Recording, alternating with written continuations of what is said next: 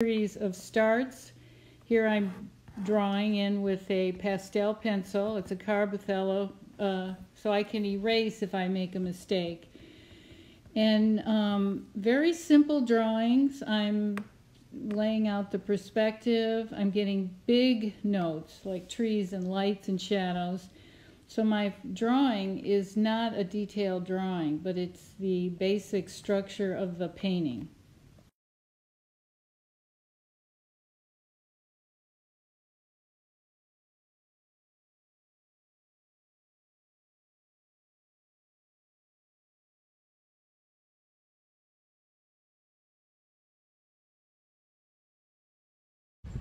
So we got light and shadow, light and shadow. This is in light, but it's a dark light compared to this light. Look how light that is compared. This is, uh, you know, one big tree.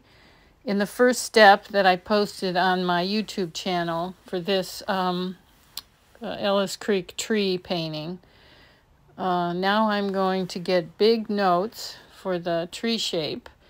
Um, and as you can see, I didn't start with the local color of green. It was a dark tree, so I started with a magenta with the intention that I will add the local color of green, the same value to this first initial lay-in. So I'm at this point kind of designing, maybe changing some of the shapes. And this is the structure, the underlying structure to a painting. So I'm just mixing these paints. Um, now I'm going to probably put in the trunk of the tree, which I think when we get to that, I made that a little bit less red. I added some uh, some orange to that. So here I'm putting in the um, the trunk of the tree. I'm mixing the colors. Yeah, so um, this is the important step to get that first lay-in as strong as possible. So I'm not dealing with only the details, I'm dealing with uh, bigger shapes. In the Ellis Creek tree painting, so I'm covering the canvas with my first lay-in. The background tree was warmer and darker. The tree on the right in front of that is a little bit uh, cooler, so I actually used a cool green. And then I'm going to put a light plane, add some yellow to that light plane. The next bush on the right is warmer. So I've added some cad yellow to the light plane and maybe a little bit of orange to the shadow note. So this is this is how I start a painting. I exaggerate the light dark patterns. I divide the trees into a light and a shadow note. Now I'm putting in some mustard in the in the background. And then there's some cooler green around it. So this is step three.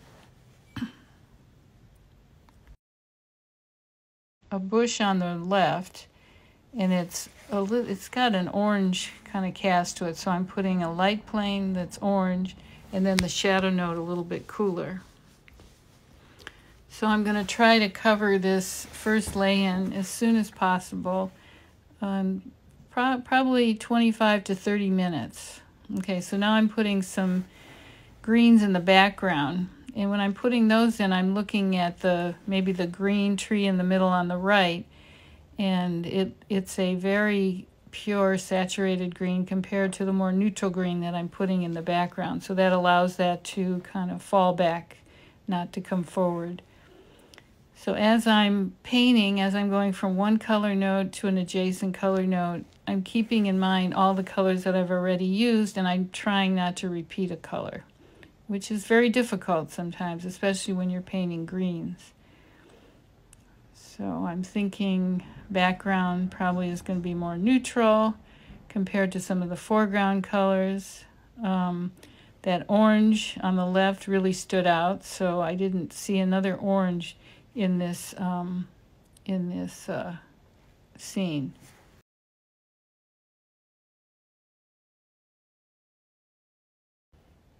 So I'm continuing with my lay-in. This is step five.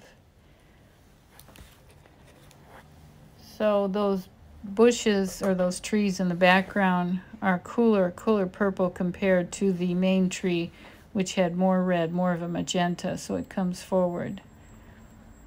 So I'm really just putting in big shapes, not getting into details yet.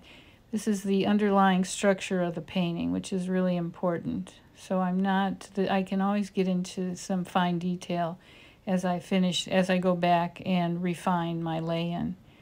But right now I'm setting up the um, structure, the underlying structure. Big shapes, which I keep emphasizing my students to just see big shapes. Don't get into the little details yet. There's the scene, early morning, sunny. Probably took me a half hour to cover the canvas. That's a cooler pink putting it in perspective.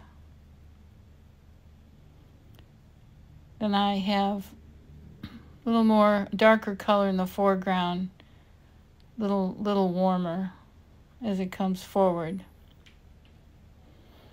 I'm trying to cover quickly and I'm relating every color. Once when I put a color down, I relate it to every other color in the painting.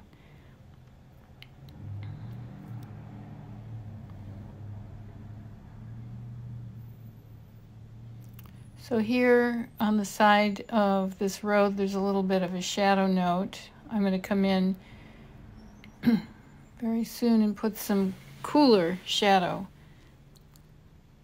over here. And when I put that in, I'm kind of redesigning those shapes.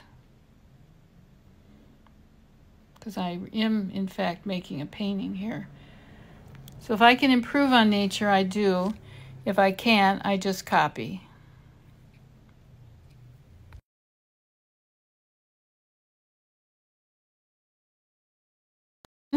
Adding more color.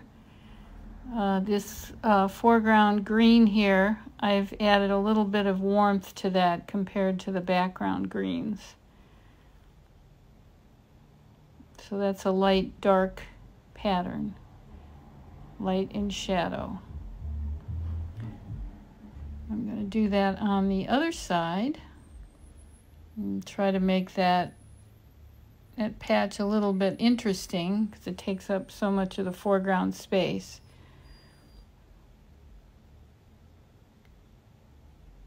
and I've brought in a warm color. This is an early sunny, early morning sunny studies, sunlit study. It's a tree in the background. Look at this uh, intense color here. That's a cad, cad orange, I think, with a little bit of yellow. So that really brings that whole patch forward. And I'm thinking about that when I'm painting. I'm painting aerial perspective. So I'm painting the air from the foreground and relating it. There's these sheets of, I say, um, air between the foreground and the background. So things in the foreground are going to be more intense, you know, warmer, more saturated, and that'll bring them forward.